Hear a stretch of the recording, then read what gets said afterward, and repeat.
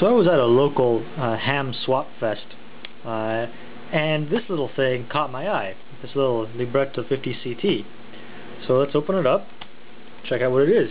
It's a laptop. It's one of those, you know, palm-size uh, little computers. Now this thing was made in the late 90s, probably like 98 or something like that. So, you know, you expect when I turn this on that it's, you know, a Windows CE device, because those were all the rage. But uh, we turn this thing on.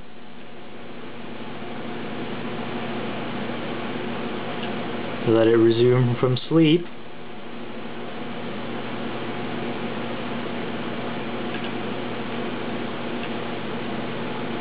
Bang! Windows 95. Alright, so let's look at the features of this thing. Uh, as you saw, it has pretty good power management utilities. You know, it can do full uh, suspend to RAM, suspend to disk. So pretty good there. It can do uh, display brightness. Uh, it can do disk power down. It can do various bits of hardware power down. So it's pretty good, especially for the time. The display itself, uh, it's a bit dim. It's hard to see outside, or uh, if you're near a window. That could just be because the uh, CCFLs that provide the backlight are getting a bit old, so I'm not going to fault it too much there. Uh, but the screen looks pretty good in other respects. Uh, the keyboard is, you know, pretty nice, uh, tactile one.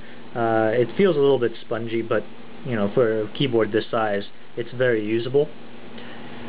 The mouse is what I really like about this thing. It's not a trackpad or one of those things in the keyboard. It's up here. And, you know, this is just a regular trackpad. You know, you can move the mouse around. Where is it? There it is. So you move that around with this. But uh, on the back here, you've got these two buttons. So you know you hold your computer like this, and you know you click around with the buttons on the back. So it's very usable. Even if it's sitting on a desk and you're typing with one hand, you can still very easily uh, operate the mouse. So that's that's fantastic. Uh, as for the processor itself, it is a Pentium. It's a 120 megahertz part, but they underclocked it to 75 megahertz. Uh, so presumably that's for battery life or heat dissipation or something. But I've read guides on how to, you know, technically overclock this thing back to its the processor's spec, which I might do. Uh, the RAM inside, well, it's only got 16 megabytes. It's upgradable, at least in theory, to 32, but uh, I'll have to open this thing up and see what it would take because I'm I'm not really um, willing to spend too much money trying to find things. But as you can see, you know, it works pretty well. I guess, and that's the problem. Whoever used this thing had most of their stuff on an external drive, presumably inside this PCMCIA slot here, which is a PCM PCMCIA version 2, so it's pretty quick. So various useful things like, you know, iExplore are just flat out not there. Or, you know, Hyperterminal, which I was hoping to use to get stuff onto this from, you know, external computers. If you go into communications here, or sorry, if you go to Hyperterminal, it's like, oh, I can't find it. So that could be problematic. I might have to figure something out. I'm probably going to actually take the drive out of this thing and image it in case I, you know, the hard disk dies, so I have something useful to go back to because you know this thing has lots of utilities you know the backlight utility and and the PC card utility that would be uh, difficult to get.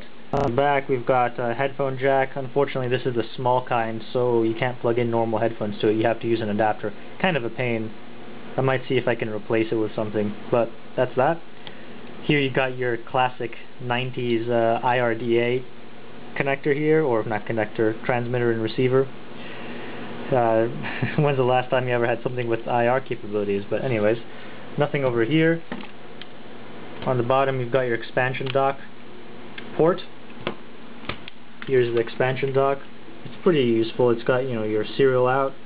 Uh, you've got your VGA. It can only drive 1024 by 768. So it's not great, but it'll definitely do the job. And your printer connection. Now apparently the connector actually brings out uh, mouse and keyboard for PS2 so you can actually hack into this pretty easily Euro and PS2 connectors so you can use an external mouse. Made in Japan. So anyways, this thing looks pretty easy to take apart. Just a bunch of regular uh, Phillips screws. Looks like someone's already gotten into it. Uh, so let's take this thing apart and see what makes this thing tick. I want to make an image of that hard disk. I was able to find the service manual for this thing. Awesome. All the pinouts for everything. Check it out. Well, this might become my favorite hacking computer. Well, this is funny. It calls the Pentium a 64-bit microprocessor. Uh, sort of. Keep dreaming. Well, that's nice of them. They used all the same type of screw. I like it when laptop manufacturers do that. But anyways, you take off these two screws at the end and looks like the hard disk just pops out. Alright, a couple screws and this thing is out. Looks like that's the uh, external RAM connector. So, uh, yeah, I'm not sure why they have these little straps in here. They're not actually electrical connections, they're just straps. Not sure. Such a cute laptop keyboard. it is so tiny! Alright, we disconnect one of these connectors and we're through. And we've separated the two halves of the case. Uh, just quick little flyover here. So here's the power jack. This is the back of the computer. Uh, here's where the connector plugs in. This is your sound. Not much visible right now, but uh, if we look over here, this device here with the uh, code on top of it is actually a microcontroller. Uh, it's a PD78P014.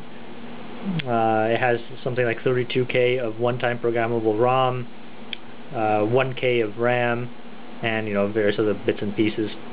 Uh, it runs at maybe like 10 megahertz or something like that. I would guess this thing is running all the power management things, uh, and like the suspend to RAM and suspend to disk and things like that. It might be handling functions of that. Uh, over here we just have a uh, quad uh, switch. Um, down here, what is this? This is uh, this is a line driver down here. So nothing very interesting. I would presume that this is the graphics chip. Um, I'll have to take this off to confirm. Uh, but under here, presumably, there's the CPU, judging by the uh, heat discoloration on here. Uh, here's your CMOS battery. It hasn't leaked, as far as I can tell. So that's good. Uh, so let's peel this back and uh, see what else we can find. Oh yes, there's definitely a lot more magic happening under there. So let's start from the left, shall we? This is the classic Yamaha OPL uh, multimedia controller, so this will be like the sound card. Uh, working our way over here, I'm not sure what this thing is. I couldn't find any documentation, but uh, there's the numbers. There's the numbers. But, uh, okay, so if we work our way on over here, this is a uh, single channel audio amplifier. Presumably that's for the microphone. I can't find a microphone on here, but I guess you could do microphone input. Uh, this is a dual channel headphone driver, so, you know, headphone out. Uh, this is just an op amp. Now, these are obviously the RAM, and I think it's kind of funny that they're using a chip uh, on top of a little riser board because the chip doesn't match the footprint. So I guess they couldn't find any more of a particular kind of RAM in a particular package they were using, so they just stuck them on the these little risers, and that's guess it works just fine. Uh, this thing I couldn't find an exact part match, but from looking around, this looks to be a 2 megabit uh, flash. So uh, I think this is going to be for the uh, BIOS. So I read in the manual that you can actually flash the BIOS on this thing. So that's what that is Let's take this thing off and see what's under here. Well, I kind of decided to actually take the board out first. Uh, how's that for a tiny computer board? But anyway, so here's the hard disk. It's an HD uh, 2116 uh, from Toshiba, of course. Um, have to take that off. There's a hair. Here's the PC card ejection mechanism.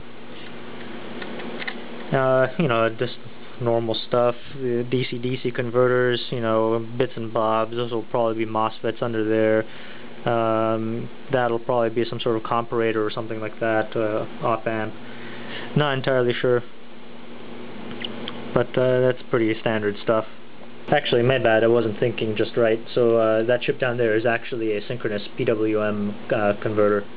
So it's a one-chip solution that drives all this stuff. Underneath the uh, PC card little black tape thing, there's an absolutely massive BGA package here. Uh, this will be the uh, Toshiba uh, specific chip that kind of integrates all the other components of the computer. So, you know, all the various buses, you know, PS2 stuff, memory interface, all that good stuff is taken care of by this chip. And I guess there's a bit more RAM here maybe to support the operation of this thing. I'm not too sure. Alright, so under that heatsink assembly, we've got the main processor. Looks pretty cool. It's all soldered in along the edge here. You've got uh, this. This is the graphics chip. It's an LCD driver T65550. Uh, um, over here, we've got a bunch of power stuff. Uh, you've got a bunch of MOSFETs here, some more MOSFETs here. Interestingly, this is a sensor amp. I'm not sure exactly what they're doing, but uh, maybe they just need extra precision uh, in their power management stuff. Uh, but not much else of note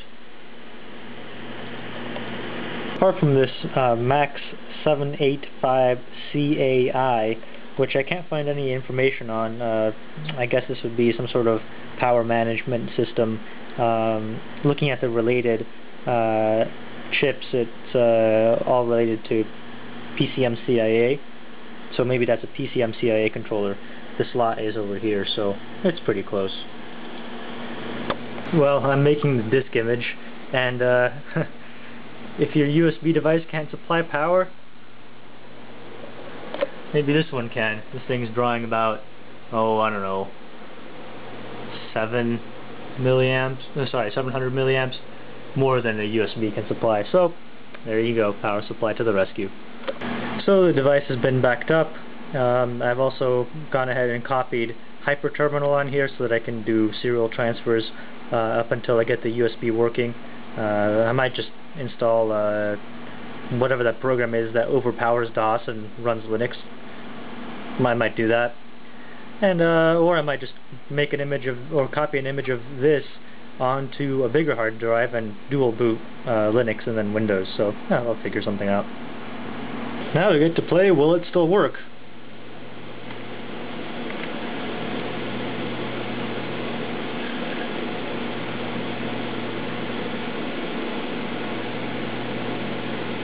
Yep, it's working.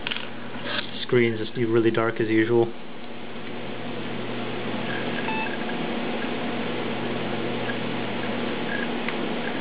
Keyboard? Yep. I assume the mouse works as well, given it's the same connector as this thing.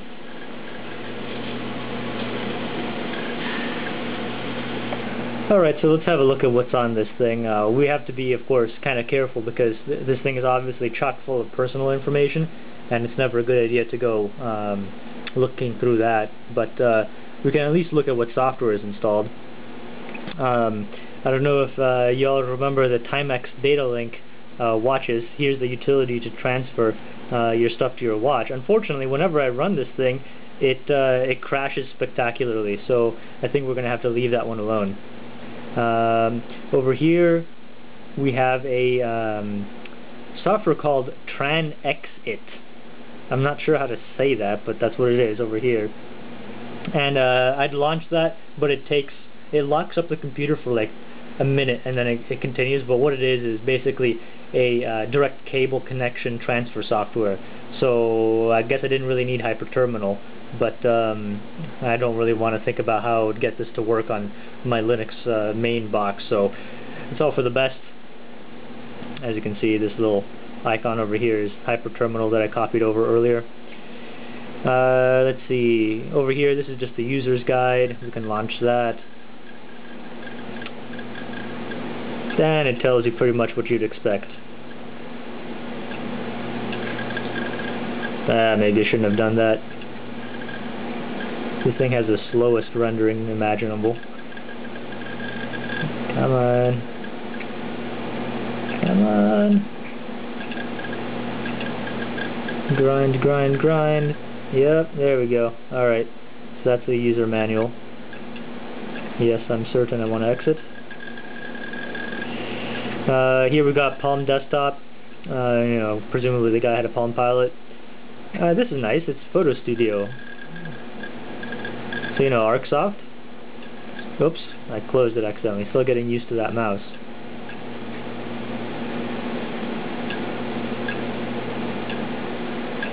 there we go. We can uh, we can draw.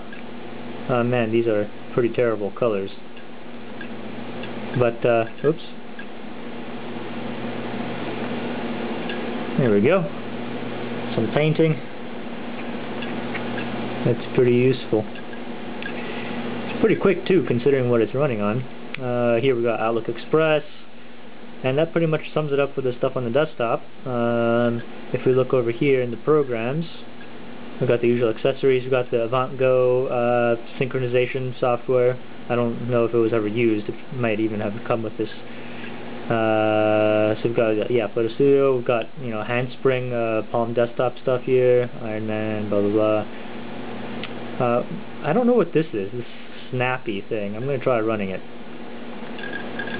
Oh, it's on the external disk. Yeah, apparently this guy had an external disk hooked up to this thing and uh, apparently has all the programs. Alright, Toshiba accessories, whatever, registration. Ooh, the Yamaha station. Does this mean I can like play stuff on it? Ah, of course. What does this thing have on it? Almost nothing then. Try Word. Uh, oh. Well, it didn't really work. It's funny, my uh, Mac 512K boots up and then launches its text editor faster than this thing boots and, well, boots at all. Yeah, okay, Office is broken. Let's see... Internet Explorer?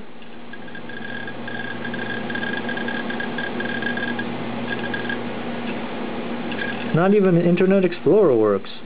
This guy copied everything to the external drive. Whoop. Well, that wasn't very exciting. But anyways, that's what's on here. I see uh, things like address book and things like that. We should leave those alone. Alright, let's try installing Hyperterminal.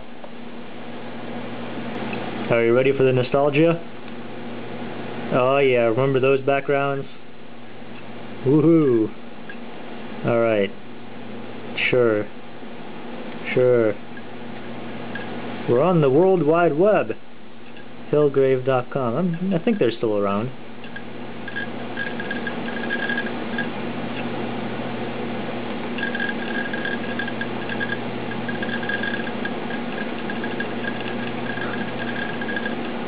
Wow. Now that's something I didn't realize existed. That What that says is it says FedWorld Government BBS. That is interesting. I should try calling that number.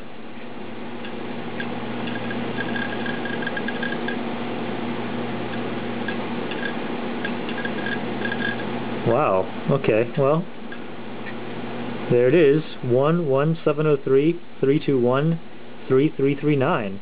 We should try it. I don't actually have any single modem in my entire house, so I'll have to try it another day, I guess. Arg! Oh, uh, what's wrong? Uh, yes, I remember these days. It was the stupid Palm Pilot synchronization software, so killed that, now it works. Oh, that universal common denominator between PCs. The serial port. Fantastic. So, uh, yeah, I'll end this video here. I've rambled on long enough. So, uh, yeah, I'm just going to keep messing with it. I think I'll try to get uh, Linux on this thing just for fun. Try to stick a ridiculously large hard disk in it. And uh, see what kind of looks I get when I take this thing to, uh, uh, to Starbucks. You know, I could have my USB PC card over here, plug in my Wi-Fi dongle, and, you know, sort of kind of surf. At least enough to get in trouble. So anyways, thanks for watching.